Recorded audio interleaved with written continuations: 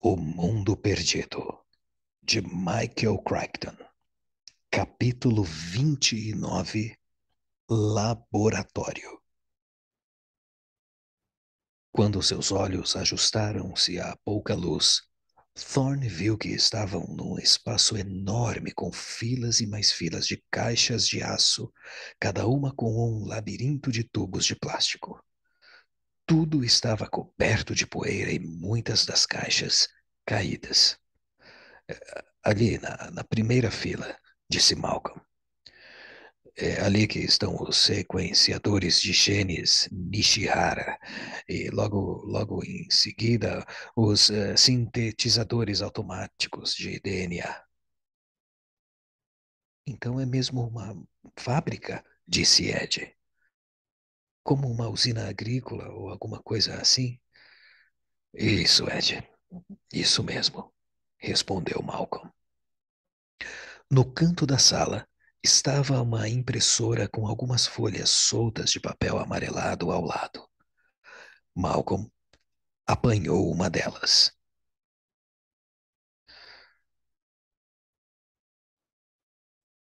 Assim, começou a ler. Fator de transição, eritroide específico de galimimos, RNA completo, 1068 BPSS, Galimimos bulatus, macho, sangue embriônico, nove dias, cDNA para mRNA clone E121, organismo Galimimos bulatus, animalia cordata, vertebrada, arcosáurea, dinossauria, ornitomimissauria, referência 1 bases 1 a 1418, DR Evans, 17 de julho de 1989. Características, localização, qualificadores, proteína 21, 26, 29. Tradução, base. É, é, é uma referência ao banco de dados de um computador, disse Malcolm é, para o fator sanguíneo de algum dinossauro, algo a ver com os glóbulos vermelhos. E, e a sequência é essa? É, não.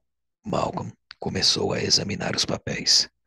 A sequência devia ser uma série de nucleotídeos.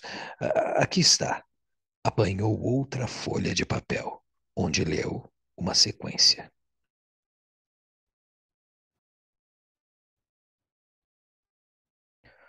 Um sessenta e um, cento e vinte e um, cento e oitenta e um, duzentos e quarenta e um, trezentos e um, trezentos e sessenta e um, quatrocentos e vinte e um, quatrocentos e oitenta e um, quinhentos e quarenta e um, seiscentos e um, seiscentos e sessenta e um, setecentos e vinte e um, setecentos e oitenta e um, oitocentos e quarenta e um, novecentos e um, 961, 1021, 1081, 1141, 1201, 1261, 1321, 1381. Distribuição, U, Loro Russo, nota da produção, sequência final aprovada. Isso tem alguma coisa a ver com o motivo da sobrevivência dos animais? Perguntou Thorne. Eu ainda não tenho certeza, disse Malcolm. Essas anotações teriam relação com os últimos dias da fábrica ou seriam apenas algum algo que foi impresso há muitos anos e deixados para trás? Procurou em volta da impressora e achou uma prateleira com pilhas de folhas impressas. Examinou-as. Eram memorandos em papel azul desbotado e todos breves. O primeiro dizia: de CCDP Jenkins para HU. Excesso de dopamina em alfa-5 significa que o receptor ainda não está funcionando com a agilidade desejada. Para mimetizar o comportamento agressivo nos organismos acabados, devemos tentar heranças genéticas alternadas. Precisamos começar isso hoje. O outro dizia de CCD para HU. O glicogênio sintase quinase 3 isolado de xenopus pode funcionar melhor do que um GSK3 alfa-beta de mamíferos atualmente em uso. Devemos esperar o estabelecimento mais robusto de polaridade dorso-ventral e menor desgaste do embrião cordata. Malcolm leu o próximo. De Bakes para HU. Fragmentos curtos de proteína podem estar agindo como prions, origem duvidosa, mas sugere a cessação de todas as proteínas exógenas para organ carne até descobrir a origem. A doença não pode continuar. A doença não pode continuar. Thorne olhou para trás e observou. É, parece que eles tinham problemas. É, sem dúvida, disse Malcolm. Seria impossível não ter. É, mas a questão é. Não terminou a frase. Olhava para o memorando seguinte, que era mais longo. Atualização Produção Indian, 10 de outubro de 1988, de Lori Russo para todo o pessoal. Assunto: baixa produção. Episódios recentes de perda de nascimentos bem-sucedidos no período de 24 a 72 horas depois da abertura do ovo foram identificados como resultantes de contaminação pela bactéria Escherichia coli. Essa contaminação provocou um corte de 60% na produção e provém de esterilização inadequada do pessoal, principalmente durante o processo H, fase de manutenção do ovo, reforço hormonal 2G/H. Os braços articulados dos Comera foram reinstalados e recobertos em robôs 5A e 7D, mas a reposição diária da agulha ainda é necessário, de acordo com as condições de esterilização Manual Geral, diretriz 5 a 9. Durante o próximo ciclo de produção, 12 10, 26 10, sacrificaremos cada décimo ovo na fase H para testes de contaminação. Comecem a separá-los imediatamente. Comuniquem todos os erros, interrompam a linha sempre que necessário até o problema ser resolvido. É, eles tiveram problemas com infecção e contaminação na linha de produção disse Malcolm, e talvez é, com outras fontes de contaminação.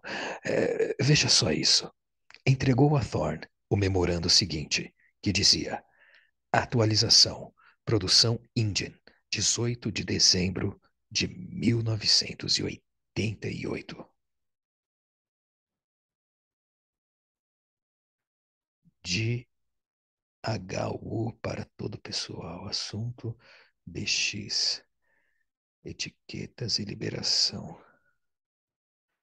Os nascidos com vida receberão as novas etiquetas de campo, Grumbach, no primeiro intervalo viável. A alimentação já não será ministrada dentro do laboratório. O programa de liberação está agora em plena operação e as redes de rastreamento são ativadas para o monitor. Thorne disse: é, Isso aqui significa o que eu estou pensando mesmo? É, sim, disse Malcolm.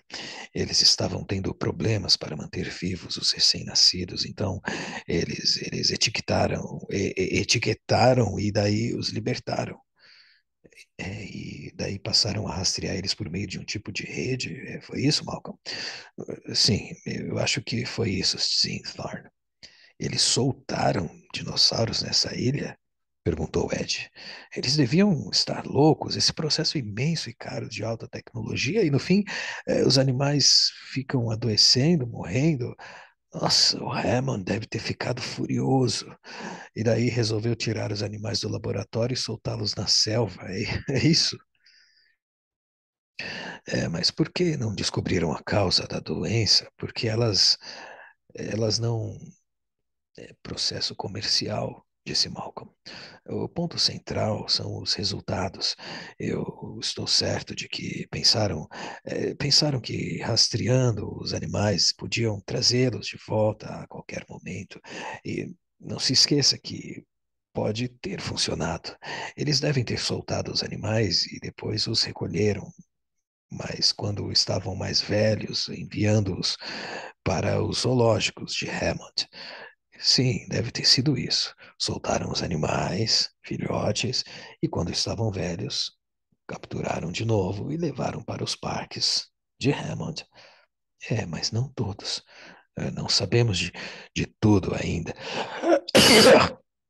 Me desculpe, Thorne. É, não sabemos o que aconteceu aqui. Passaram para a sala seguinte, pequena e quase vazia, com um banco no centro e armários fechados nas paredes. Os avisos diziam: observem as precauções.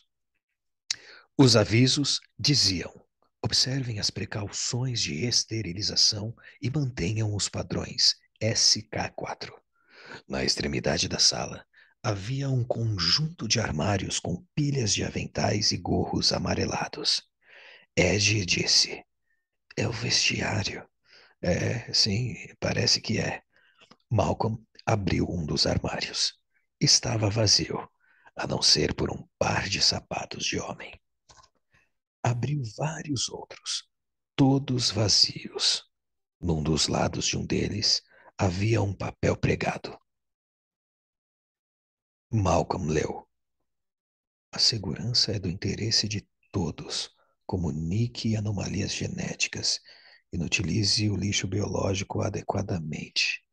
Detenha a disseminação do DX agora. O que é DX? Quis saber Ed. É, eu acho que é o nome da doença misteriosa, respondeu Malcolm. Na extremidade da sala havia duas portas. A da direita era pneumática, operada por um painel com base de borracha preso no chão. Por isso, eles usaram a da esquerda, que se abriu com facilidade. Entraram num longo corredor com painéis de vidro do chão ao teto na parede da direita. O vidro estava todo arranhado e sujo, mas através dele dava para ver a sala ao lado, diferente de tudo o que Thorne já havia visto. Era um espaço enorme, do tamanho de um campo de futebol. Correias transportadoras cruzavam a sala em dois níveis, um muito alto, o outro na altura da cintura. Em vários pontos da sala Havia conjuntos de máquinas muito grandes com tubulação complexa e braços móveis ao lado das correias. Thorne iluminou as correias com a lanterna. Uma linha de montagem, disse. É, mas parece que nunca foi usada. É como se, se estivesse pronta para funcionar, observou Malcolm. É, olhe lá adiante, há algumas plantas crescendo do chão mas o resto, o resto está extremamente limpo. É, limpo até demais, disse Ed. Se for uma sala de ambiente limpo, provavelmente está hermeticamente fechado, disse ele. Acho que permaneceu exatamente como era anos atrás. Ed balançou a cabeça. Durante anos? Eu acho que não, hein, Thor? Então como é que você explica isso? Malcolm franziu a testa, espiando pelo vidro. Como era possível uma sala daquele tamanho permanecer limpa depois de tantos anos? Não fazia. Ah, ei! Ed exclamou. Malcolm viu também. Uma pequena caixa azul no canto da sala, entre o chão e o teto, com cabos ligados a ela.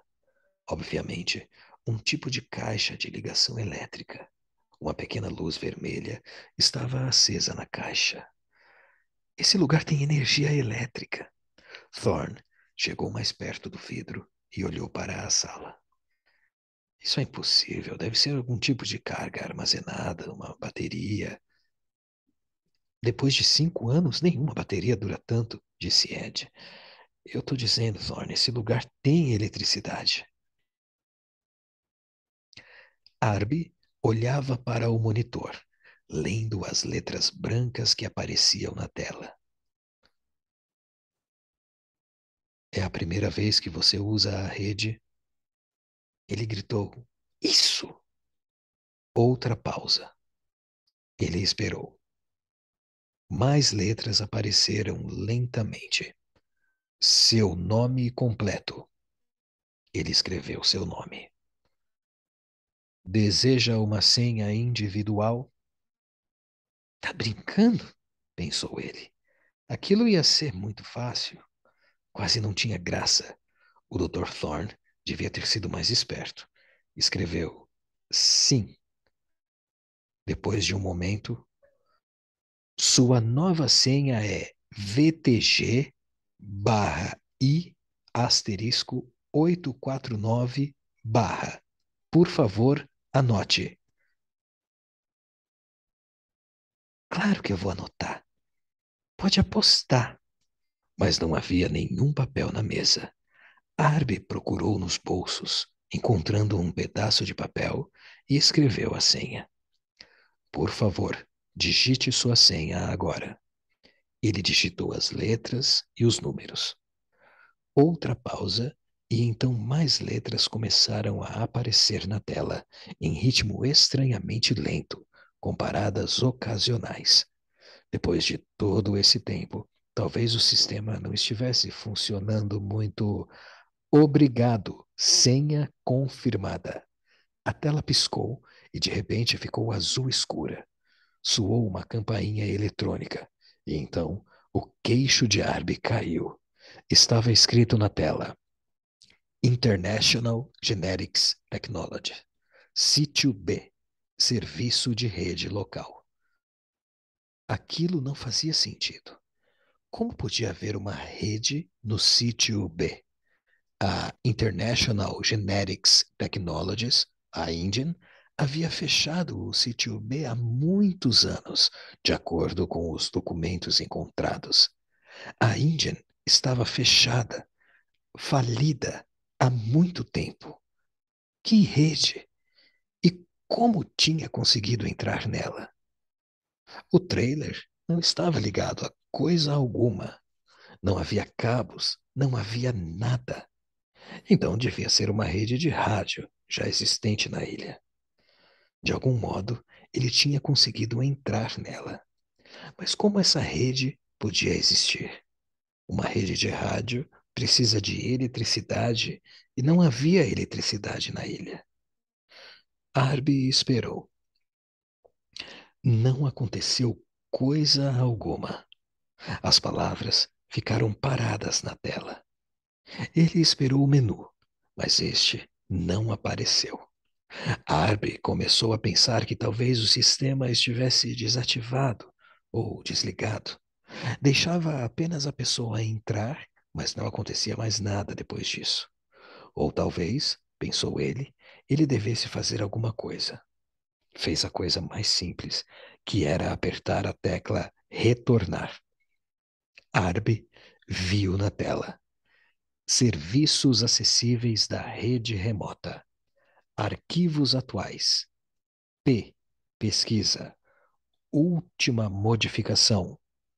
2 de outubro de 1989. PR. Produção. Última modificação. 5 de outubro de 1989. Regulamento de campo. 9 de outubro de 89.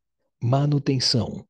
12 de novembro de 89. Administração. 11 de novembro de 89. Arquivos de dados armazenados. Pesquisa. 1 de novembro de 1989. Pesquisa GD99. 12 de novembro de 1989. Produção FDFN. Última modificação, 9 de novembro de 1989. Então existia um antigo sistema. Os arquivos há anos não eram modificados. Para ver se ainda funcionava, ele clicou a rede de vídeo E, surpreso, viu a tela começar a se encher de pequenas imagens de vídeo. Eram 15 ao todo, enchendo toda a tela, mostrando imagens de várias partes da ilha. A maioria das câmeras parecia estar no alto, em árvores ou coisa assim, e mostrava. Arbe arregalou os olhos. Mostravam dinossauros. Olhou mais de perto. Não era possível. Estava vendo um filme ou alguma coisa parecida. Num dos cantos, ele viu um bando de triceratops. No outro quadrado, umas coisas que pareciam lagartos verdes na relva alta, só com as cabeças aparecendo. Em outro, um único estegossauro andando tranquilamente. Devem ser filmes, pensou ele. O canal dos dinossauros. Mas então, em outra imagem, Arby viu os dois trailers na clareira. Via os escuros painéis fotovoltaicos brilhando na capota. Quase imaginou que podia ver a si mesmo através da janela do trailer. Ai, meu Deus, pensou Arby. E em outra imagem, ele viu Thorn, Malcolm e Ed entrando rapidamente no Explorer verde e seguindo para a parte de trás do laboratório. E compreendeu, chocado. As imagens eram todas reais.